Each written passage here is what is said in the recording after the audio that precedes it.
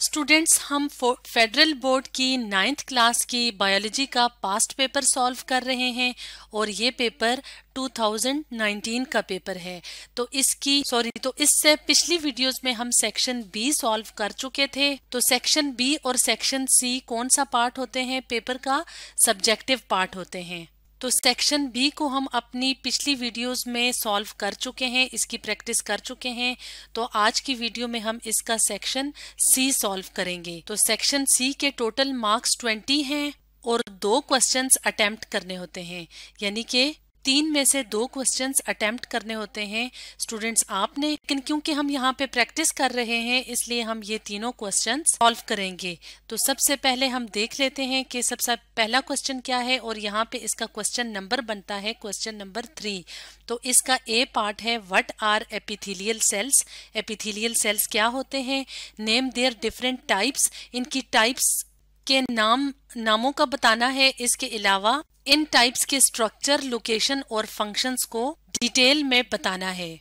तो पहले हम क्वेश्चन नंबर थ्री के ए पार्ट को सॉल्व करते हैं, फिर हम बी पार्ट की तरफ़ आएँगे। तो हम आंसर शीट की तरफ़ मूव करते हैं। तो आंसर शीट में हम सबसे ऊपर यानी टॉप पे क्या लिखेंगे? सेक्शन सी लिखेंगे और उसके बाद क्वेश्चन थ्री क्योंकि हम लोग सॉल्व कर रहे हैं और इसका ए पार्ट कर रहे हैं तो हमने यहाँ पे इस तरह से ये क्वेश्चन लिखा, यानी क्वेश्चन नंबर थ्री का ए पार्ट लिखा। अब हम आंसर की तरफ़ मूव करते हैं क्योंकि क्वेश्चन हम पहले क्वेश्चन पेपर में देख चुके हैं। तो हम आंसर की तरफ़ मूव करते हैं। एपिथेलियल सेल्स क्या होते हैं? Epithelial cells are cells that come from the surface of your body यानी कि जो बॉडी की सरफेस पे मौजूद होते हैं, जैसे कि हमारी जिल्द है ब्लड वेसल्स हैं यूरिनरी ट्रैक्ट और ऑर्गन्स वगैरह होते हैं तो इस पे एपिथेलियल सेल्स मौजूद होते हैं। They serve as a barrier between inside and outside of your body तो ये हमारी बॉडी की इनसाइड और आउटसाइड के दरमियान बैरियर यानी रुकावट का काम करते हैं। और हमारी बॉडी को वायरसेस वगैरह से बचाते हैं। तो अब हम आते हैं इसकी क्लासिफिकेशन की तरफ़। जैसे यहाँ पे पूछा हुआ था कि टाइप्स कौन कौन सी हैं। तो three principal shapes associated with epithelial cells are यानी एपिथेलियल सेल्स जो हैं वो अपने आप को किस शेप में अरेंज करते हैं, उस लिहाज से क्लासिफिकेशन यहाँ पे की गई है। तो हम डिस्कस कर लेते हैं यहाँ पे। एक है स्क्वेमस एपिथीलियम तो स्क्वेमस एपिथीलियम के जो सेल्स होते हैं वो वाइडर होते हैं। यानी चौड़े चौड़े होते हैं देन देयर हाइट लंबाई के मुकाबले में ये चौड़े ज़्यादा होते हैं और लोकेशन इनकी क्या है, कहाँ पे ये मौजूद होते हैं, ये पाए जाते हैं हमारे माउथ की इसोफेगस की और ब्लड वेसल्स की लाइनिंग में, यानी अंदरूनी तह में, अंदरूनी सतह के ऊपर मौजूद होती हैं। और कहाँ पे मौजूद होती हैं? लंग्स के जो, अंदर जो पार्ट होता है, जैसे एल्व्यूलाई कहते हैं, वहाँ पे भी, उसकी लाइनिंग में भी या अंदरूनी तह में ये मौजूद होते हैं। फ़ंक्शन क्या है? Allows the material to pass through by diffusion and filtration यानी ये मटेरियल्स की मूवमेंट अंदर और बाहर जो होती है बॉडी के तो वो डिफ्यूजन और फिल्ट्रेशन के प्रोसेस से होती है। और वो किसकी मदद से होती है? वो इन एपिथीलियल सेल्स की मदद से होती है, यानी स्क्वेमस एपिथीलियम की मदद से होती है। क्यूबॉइडल एपिथीलियम की बात करते हैं, अब cuboidal epithelium comprises of cells cuboidal epithelium में ऐसे सेल्स होते हैं whose height and width are approximately the same यानी इनकी हाइट लंबाई और चौड़ाई एग्जैक्टली exactly या तकरीबन एक जैसी होती है। ये क्यूब शेप्ड होते हैं। और इनकी लोकेशन कहाँ पे है? ये डक्ट्स में मौजूद होती हैं, यानी मुख्तलिफ़ किस्म की जो नालियाँ होती हैं हमारी बॉडी के अंदर और किडनी की जो ट्यूब्यूल्स होती हैं, जो ट्यूब्यूल्स भी नालियों की शेप को कहते हैं तो वहाँ पे ये तय बनाती हैं। इनका फ़ंक्शन क्या है? सिक्रीट करना और एब्जॉर्ब करना। यानी ये खास किस्म के जो मटेरियल्स होते हैं, वो खारिज करते हैं और इसके अलावा एब्जॉर्प्शन का काम करते हैं। कॉलमनर एपिथीलियम की बात करते हैं, इनमें जो सेल्स होते हैं, वो टॉलर होते हैं, लंबे ज़्यादा होते हैं और चौड़े कम होते हैं। Columnar epithelium can be further classified इनको फर्दर सिलिएटेड कॉलमनर एपिथीलियम में और ग्लैंडुलर कॉलमनर एपिथीलियम में डिवाइड किया जाता है। लोकेशन की अगर हम बात करें तो ये कहाँ पे मौजूद होते हैं? ब्रोंकाई में, यानी रेस्पायरेटरी सिस्टम के जो पार्ट है ब्रोंकाई, उसमें मौजूद होते हैं। और जो सिलिएटेड टिश्यूज होते हैं, यानी कॉलमनर एपिथेलियम में भी एक सिलिएटेड टिश्यूज होते हैं और एक नॉन सिलिएटेड सिलिएटेड वो टिश्यूज जिनमें धागा नुमा स्ट्रक्चर जिन्हें सिलिया कहते हैं, वो मौजूद होते हैं। और नॉन सिलिएटेड में इस तरह के स्ट्रक्चर्स मौजूद नहीं होते और नॉन सिलिएटेड टिश्यूज जो होते हैं, वो डाइजेस्टिव ट्रैक्ट में मौजूद होते हैं। लोकेशन की अगर हम बात करें तो सिलिएटेड सॉरी लोकेशन को हमने डिस्कस कर लिया है। अब हम फ़ंक्शन की बात करते हैं तो इनका फ़ंक्शन है एब्जॉर्ब करना, यानी जज्ब करना। इसके अलावा ये म्यूकस को और एंजाइम्स को स्क्रीट करते हैं। तो म्यूकस क्या होता है? म्यूकस चिपचिपा सा मटेरियल होता है। तो यहाँ पे एक डायग्राम ड्रॉ की गई है, जिसमें कि सिंपल स्क्वेमस एपिथीलियम के सेल्स दिखाए गए हैं सिंपल क्यूबॉइडल एपिथीलियम के और सिंपल कॉलमनर एपिथीलियम के सेल्स दिखाए गए हैं।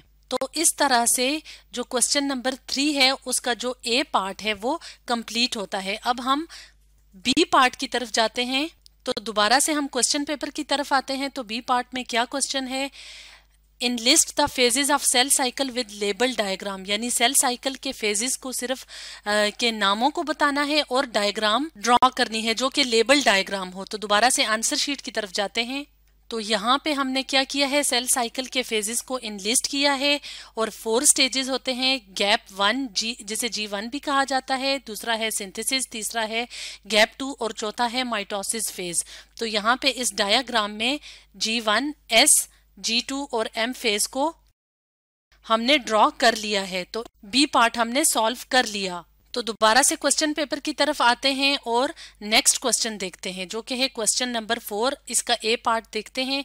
Describe the process of aerobic respiration in detail with the help of label diagram यानी एरोबिक रिस्पायरेशन को डिटेल से डिस्कस करना है और डायग्राम भी शो करनी है. तो यहाँ पे हम सबसे पहले इसके आंसर में क्या लिखेंगे? इसके आंसर में हम सबसे पहले एरोबिक रिस्पायरेशन को डिटेल से डिस्कस करेंगे और लास्ट में हम लेबल डायग्राम शो करेंगे.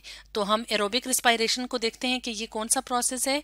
Aerobic respiration is a biological process ये एक बायोलॉजिकल प्रोसेस है जिसमें कि food glucose is converted into energy in the presence of oxygen यानी फ़ूड जो कि ग्लूकोज की शक्ल में होती है, वो ऑक्सीजन की मौजूदगी में कन्वर्ट हो जाएगी एनर्जी की फॉर्म में और इसके साथ साथ कार्बन डाइऑक्साइड और वाटर भी रिलीज़ हो जाएगा। अब हम स्टेप्स को देखते हैं कि एरोबिक रिस्पायरेशन में कौन कौन से स्टेप्स होते हैं। तो स्टेप से पहले हम ये देख लेते हैं कि ये एनिमल्स में प्लांट्स में और दूसरे लिविंग ऑर्गेनिजम्स में ये प्रोसेस होता है। तो स्टेप्स में कौन कौन से स्टेप्स हैं?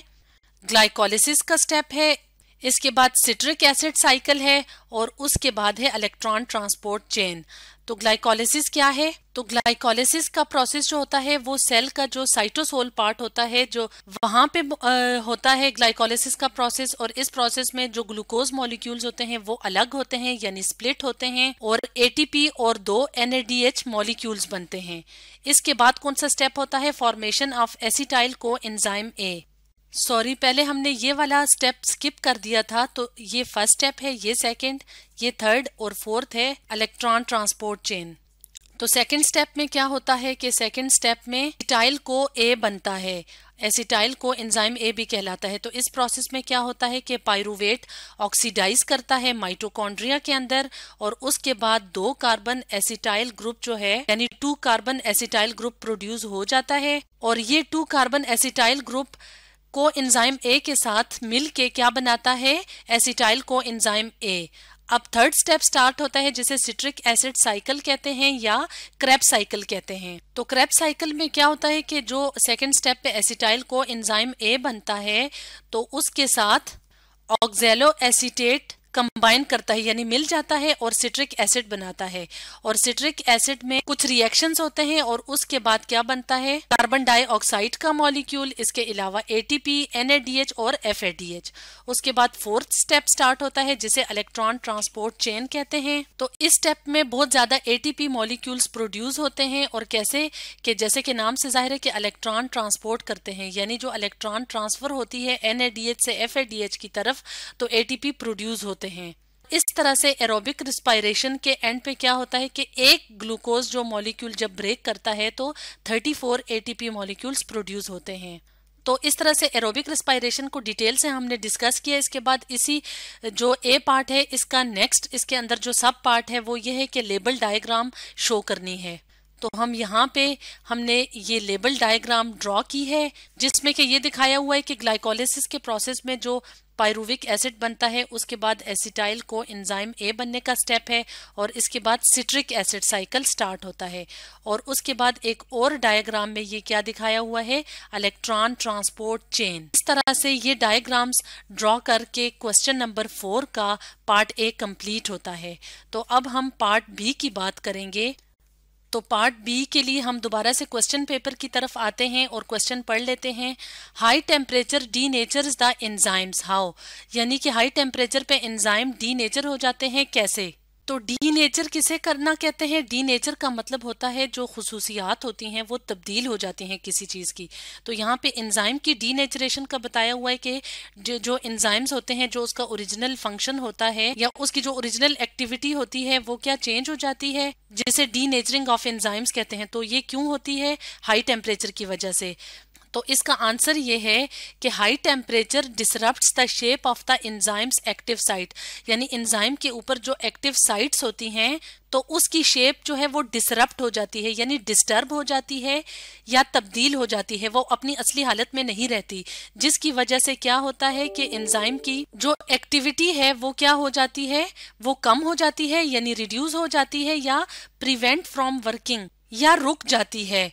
तो इसको कहते हैं enzyme denaturation enzymes therefore work best at particular temperature यानी इसीलिए एंजाइम्स जो होते हैं वो एक खास टेम्परेचर या दर्जा हरारत पे काम करते हैं। तो इस तरह से क्वेश्चन नंबर फोर का जो बी पार्ट था वो हमने यहाँ पे सॉल्व कर लिया।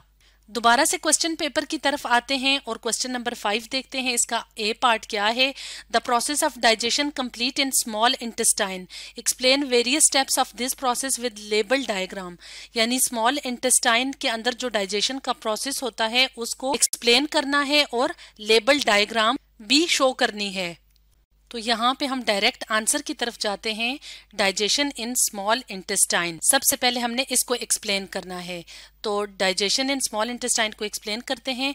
The small intestine or small bowel is an organ in gastro intestinal tract gastro intestinal का वर्ड बोला जाता है स्टमक और इंटेस्टाइन को मिला के where most of the and absorption of nutrients and minerals from food take place जहाँ पे ज़्यादातर जो गजाई अज्जा होते हैं और मिनरल्स जो होते हैं, उनकी एब्जॉर्प्शन हो जाती है। तो ये कहाँ पे मौजूद होती है? स्टमक और लार्ज इंटेस्टाइन के दरमियान।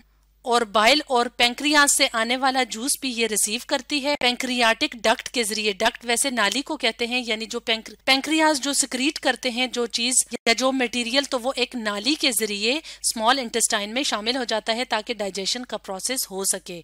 तो स्मॉल इंटेस्टाइन के तीन पार्ट्स होते हैं डिओडिनम जियोजिनम और इलियम तो डिओडिनम जो है, वो स्मॉल इंटेस्टाइन का सबसे फ़र्स्ट और शॉर्टेस्ट यानी सबसे मुख्तसर सा पार्ट होता है, छोटा हिस्सा होता है। और यहाँ पे इंजाइम्स की मदद से केमिकल डाइजेशन का प्रोसेस होता है। सेकंड पार्ट है जियोजनम जो कि मिडल या दरमियाना पार्ट होता है स्मॉल इंटेस्टाइन का। और इसमें एक लाइनिंग होती है, यानी एक तय होती है, जिसका फ़ंक्शन क्या होता है? एब्जॉर्ब करना, जज्ब करना कार्बोहाइड्रेट्स और प्रोटीन्स को जज्ब करना। और इसकी जो इनर सरफेस होती है, अंदरूनी तय जो होती है जोजनम की तो वो कवर होती है म्यूकस मेम्ब्रेन से। ऐसी तय होती है, जो कि चिपचिपी सी होती है, और उसके ऊपर यानी अंदरूनी सतह के अंदर जो कवरिंग होती है, उसमें प्रोजेक्शन होती हैं, यानी थोड़ी थोड़ी बाहर को निकला हुआ स्ट्रक्चर होता है फिंगर लाइक जो होता है स्ट्रक्चर जिसे विलाय कहते हैं। तो विलाय जो है, वो न्यूट्रिएंट एब्जॉर्प्शन को तेज करता है, या उसके लिए सरफेस एरिया जो होता है, जो सतह होती है, उसको ज़्यादा करता है। तो जियोजनम के ऊपर जो एपिथिलियल सेल्स होते हैं, वो न्यूट्रिएंट्स को, न्यूट्रिएंट्स में जो यानी गजाई अज्जा जिसमें कार्बोहाइड्रेट्स शामिल हैं, उसकी ट्रांसपोर्ट करता है। इसके अलावा पैसिव ट्रांसपोर्ट का मतलब है एनर्जी के बगैर खुद ब खुद जो है वो कार्बोहाइड्रेट्स मूव करते हैं और एक्टिव ट्रांसपोर्ट में ये किस चीज़ की ट्रांसपोर्ट करता है? अमाइनो एसिड्स की स्मॉल पेप्टाइड्स की और वाइटामस की और ग्लूकोज की। और एक्टिव ट्रांसपोर्ट में जियोजनम एनर्जी का इस्तेमाल करता है। अब हम थर्ड पार्ट की बात करते हैं, इलियम। इलियम लास्ट पार्ट है। Final section of small intestine है। और इलियम का फ़ंक्शन क्या है कि ये विटामिन बी ट्वेल्व को एब्जॉर्ब करता है, यानी जज्ब करता है। इसके अलावा बाइल्स को और सॉल्ट्स यानी जो नमकियात होती हैं, उसके भी एब्जॉर्प्शन का काम करता है। और इलियम का भी जो सरफेस एरिया होता है, वो बहुत बड़ा होता है ताकि डाइजेशन के जो प्रोडक्ट्स होते हैं, यानी डाइजेशन के नतीजे में जो मटेरियल बनता है, उसकी एब्जॉर्प्शन या उसको जज्ब सही तरीके से किया जा सके। तो अगर हम स्मॉल इंटेस्टाइन की डाइजेशन को यहाँ पे समराइज करें तो इसका आ, कुछ पॉइंट्स यहाँ पे हमने डिस्कस किए हैं। वो क्या है कि स्मॉल इंटेस्टाइन में ज़्यादातर केमिकल डाइजेशन होती है। इसके अलावा पेंक्रियाज जो अपनी सिक्रीशंस डालते हैं वो पेंक्रियाटिक डक्ट के थ्रू डालते हैं स्मॉल इंटेस्टाइन में ताकि डाइजेशन हो सके। और सिक्रीशंस क्या होती हैं? ज़्यादातर डाइजेस्टिव एंजाइम्स होते हैं जो कि मदद करते हैं डाइजेशन में। और गजाई अज्जा जिनकी डाइजेशन होती है वो कौन कौन से हैं? प्रोटीन्स लिपिड लिपिड्स और कार्बोहाइड्रेट्स अब हम यहाँ पे इसकी डायग्राम देख लेते हैं कि जो डाइजेशन के प्रोसेस में जो डाइजेस्टिव सिस्टम होता है, उसकी डायग्राम है यहाँ पे, और इसमें स्मॉल इंटेस्टाइन भी शामिल है, जिसके मुख्तलिफ़ पार्ट्स यहाँ पे दिखाए गए हैं, जिसमें के डिओडनम जियोजनम और इलियम शामिल हैं। तो इस तरह से डायग्राम को, जो लेबल डायग्राम है, उसको ड्रॉ करके क्वेश्चन नंबर फाइव का पार्ट ए कंप्लीट होता है। अब हम क्वेश्चन नंबर फाइव का बी पार्ट देखते हैं कि ये क्या है। Give a comparison of pulmonary and systemic circulation तो पल्मनरी और सिस्टेमिक सर्कुलेशन के दरमियान हमने कंपैरिजन करना है, यानी इनका मवाजना करना है। तो पल्मनरी सर्कुलेशन में क्या होता है? डी ऑक्सीजनेटेड ब्लड जो होता है, वो कैरी होता है हार्ट के किस पार्ट से? राइट वेंट्रिकल से और लंग्स की तरफ़ जाता है, इसके ज़रिए पल्मनरी आर्टरी के ज़रिए। जबकि सिस्टेमिक सर्कुलेशन में क्या होता है? ऑक्सीजनेटेड ब्लड जाता है left ventricle of the heart यानी जो हमारा दिल है, उसके लेफ़्ट वेंट्रिकल से ऑक्सीजनेटेड ब्लड जाता है, तमाम बॉडी की तरफ़ किसके थ्रू एओटा के थ्रू नेक्स्ट कंपैरिजन की तरफ़ आते हैं। Pulmonary circulation carries oxygenated blood from the lungs तो इस सिस्टम में पल्मनरी सर्कुलेशन में क्या होता है कि जो लंग से ब्लड ऑक्सीजनेट हो के कहा जाता है? लेफ़्ट आर्ट्रियम की तरफ़, जो कि हमारे हार्ट यानी दिल का हिस्सा है और ये किसके ज़रिए जाता है? पल्मनरी वेन के ज़रिए। Systemic circulation carries deoxygenated blood यानी कि ये कैरी करती है लेके जाती है डी ऑक्सीजनेटेड ब्लड को फ्रॉम द बॉडी बॉडी से to the right atrium of the heart heart की तरफ़ लेके जाती है। किसकी मदद से superior and inferior vena cava की मदद से? थर्ड कंपैरिजन देखते हैं। Composed of pulmonary artery and pulmonary vein ये किससे मिलकर बनी होती हैं? पल्मनरी आर्टरी और पल्मनरी वेन से। और सिस्टेमिक सर्कुलेशन किससे मिलकर बनी होती है? यानी ये जो सिस्टम होता है superior inferior vena cava superior vena cava aorta और स्मॉल ब्लड वेसल्स यानी छोटी छोटी खून की नालियों से। चौथा कंपैरिजन देख लेते हैं। It carries blood to the lungs यानी ये खून को फेफड़ों तक लेके जाती है। स्टेमिक सर्कुलेशन कैरीज ब्लड खून को लेके जाती है थ्रू आउट द बॉडी पूरी बॉडी की तरफ़, तमाम हमारी बॉडी की तरफ़। तो इस तरह से आज हमने फेडरल बोर्ड की नाइन्थ क्लास की बायोलॉजी का पास्ट पेपर सॉल्व किया, जो कि 2019 का था पेपर और आज की वीडियो में हमने इसका सेक्शन सी सॉल्व किया।